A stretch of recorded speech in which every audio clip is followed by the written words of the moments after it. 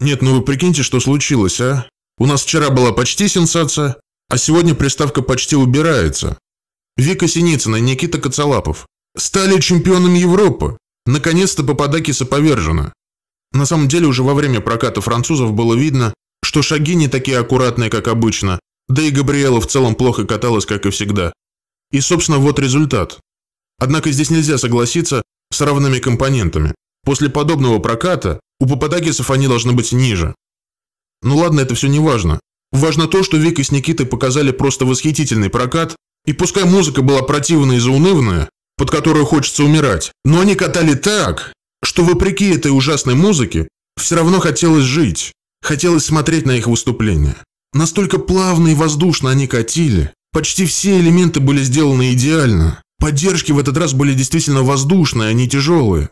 Все прям было одной картиной. Так что это потрясающий результат. Ребята огромные молодцы.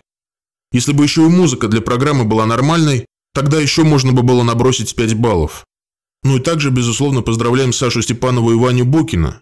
Ребята боролись, были небольшие ошибки, конечно, на шагах. Их прокат получился не таким хорошим, как на чемпионате России. Но, тем не менее, это также было здорово. Так что всех поздравляем, и наконец-то победило добро.